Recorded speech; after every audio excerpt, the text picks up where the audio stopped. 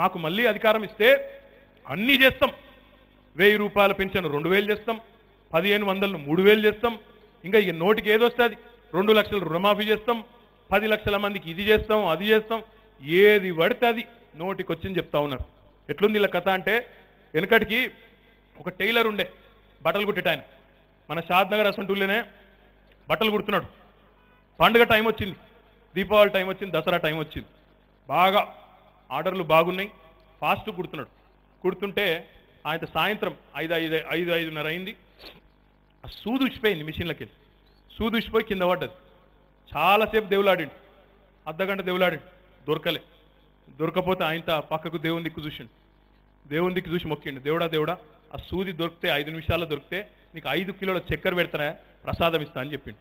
ఇంట్లోకి వెళ్ళి భార్య ఊరికి వచ్చింది వంటింట్లోకి వెళ్ళి ఇంకేమైనా బుద్ధినాదా నాకు అర్థం కాదు. ఎవడన్నా ఐదు పైసలు పది పైసలు దొరికే సూది కోసం ఐదు కిలోల చక్కెర ఎవడన్నా పెడతాడా అసలు? అసలు కిలో చక్కెర సంగతి ఏందో నీకు ఎరికేనా అన్నది. అంటే ఆయన ఏమన్నాడు ఎరికేనా? ముందు సూది అయితే దొరకని రాదే నేను దాని తర్వాత దేవుడు వచ్చేది ఉందా అడిగేది ఉందా అన్నాడు. కాంగ్రెస్ వాళ్ళ కథ కూడా గదే. డబ్బల ఓట్లు పడ్డాక మళ్ళా దొరుకుతాడా ఎవడన్నా కాంగ్రెస్ వాడు? ఒక్కడు. ఏదో ఒకటి చెప్పి ఏదో ఒకటి చెప్పాలే గోల్ తిప్పాలే అవతల వాడాలి. ఇది కాంగ్రెస్ నీతి. కొత్త పార్టీ కాదు కాంగ్రెస్ వాళ్ళు. దోకబాజీ పార్టీ దొంగ పార్టీ. నేను ఇక్కడికి వస్తుంటే అందరూ చెప్తున్నాడు అనా ఈ రోడ్డు ఈ నాలుగైదు రోడ్లు ఉన్నాయి చేయాలని అన్నాడు. చేద్దామే మనం వచ్చి నాలుగేళ్ళు అయింది వాళ్ళేమో యాభై ఏళ్ళు పరిపాలించారు కదనే. నాలుగేళ్ళకే మొత్తం యాభై ఏళ్ళ గబ్బు పోతుందని నేను అడిగిన. అడిగితే కాదన్నా కానీ మన మీద ఆశలు బాగున్నాయి జల్దీ చేయాలన్నాడు. ఇంకంత గంత ఆడటం ఎందుకు కొడుతున్నావు? అంటే ఏం లేదన్నా వాడోవాడు ఇక్కడ తిడుతున్నాడు కాంగ్రెస్ వాడు అన్నాడు. ఎట్లున్నది కథ అంటే వాళ్ళు నిజంగా వాళ్ళు మెచ్చుకోవాలి. సిగ్గులేనితనంలో కూడా వాళ్ళు ఏమైనా పిహెచ్డీలు డాక్టరేట్లు ఉంటే వాళ్ళకి ఇవ్వాలి ఎంత ఎంత ఇజ్జత్ లేని వాళ్ళు అంటే వాళ్ళు ఏం మాట్లాడతారు? కేసీఆర్ ఈ రోడ్ ఇట్లెందుకుంది? ఈ మోరి అట్లెందుకుంది? హౌరాబాయ్ మేము వచ్చి నాలుగేళ్ళ? మీకేమో యాభై యాభై ఐదేళ్ళు ఇచ్చారు ప్రజలు. ఒక్కరోజు కాదు రెండు రోజులు కాదు. జవహర్లాల్ నెహ్రూ నుంచి మొదలు పెడితే నేను మొన్న సోనియా గాంధీ దాకా మొత్తం మీరేనా? రాష్ట్రంలో మీరే కేంద్రంలో మీరే. మరి మీరే ఉద్ధరించుంటే మీరే అద్భుతాలు చేస్తుంటే ఇప్పుడు అసలు సమస్య అనేది ఉండపోతున్నాయి కదా. తెలంగాణ అడగకనే అడగపోతుంది కదా ప్రజలు అన్నీ బాగుంటే.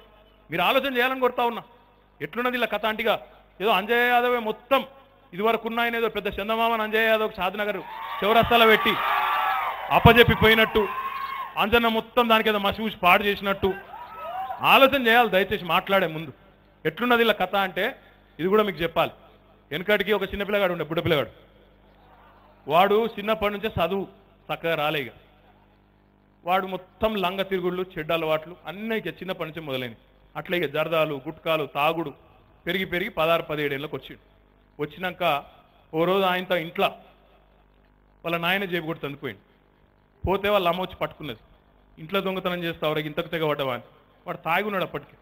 ఆయనతో పక్కకు రోకలు పడి ఉంటే తీసుకొని అమ్మని కొట్టిండు. తల్లి అక్కడనే కూలిపోయింది చచ్చిపోయింది. తండ్రి వచ్చిండు తండ్రిని కొట్టిండు ఆయన చచ్చిపోయింది మరి పోలీసు వాళ్ళు ఊరుకోరు కదా? పట్టుకొని పోయి జైల్లో పెట్టింది జైల్లో పెట్టినాక శిక్ష చేయాలి కదా? శిక్ష చేయడానికి కోర్టుకు తీసుకొని వచ్చారు. తీసుకొచ్చినాక ఆ కోర్టులో జడ్జి గారు అన్నాడట. ఆ జడ్జి గారు మన అంజయ్ యాదవ్ లెక్క పెద్ద మనిషి మంచోడు చల్లటి మనిషి. ఆ పిల్లగాని కిందికి వెళ్ళి మీ దాకా చూసినాడు చూసి అరే వారి నేను చాలా మందిని చూసిన జీవితంలో చాలా మంది లుచ్చగలను చాలామంది లత్కోరగలను కూడా చూసిన. నీ అంత గలీజ్గానే అయితే చూడలేదురా. తల్లిని తండ్రిని చంపినవు. ఇక నీకు ఏం శిక్ష చేయాలో నాకైతే దోస్తలేదురా భయ్.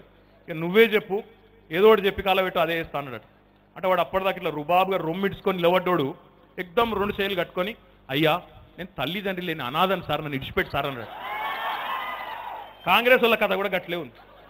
ఇప్పుడు నిన్న మొన్నటి దాకా మనం సావగొట్టింది ఎవడు? వీరు కాదా? నిన్న మొన్నటి దాకా ఎమ్మెల్యే ఇక్కడ ఎవరు? షాద్నగర్ ఎలా కాంగ్రెసే కదా? మరి ఇలా వాళ్ళే వచ్చి ఇది ఇట్లెందుకుంది అది అట్లెందుకు ఉందంటే మా తమ్ముడు చెప్పినట్టు మరి. మీరు అధికారం ఉన్నప్పుడు గుడ్డి గురు అలా పనులు తోమినరు అప్పుడు? అప్పుడేమో చెయ్యరు. ఇప్పుడు మేము చేస్తామంటేనేమో కాళ్ళ కట్టె పెడతారు మళ్ళీ మీదికెళ్ళి వచ్చి ఇక్కడ లొల్లి లక్ష్మీదేవిపల్లి రిజర్వాయర్ ఏమాయ్ ఇదేమాయ్ అదేమాయ్ మీరు కేసులు వాపస్ తీసుకొని తప్పకుండా కట్టి చూపెడతాం.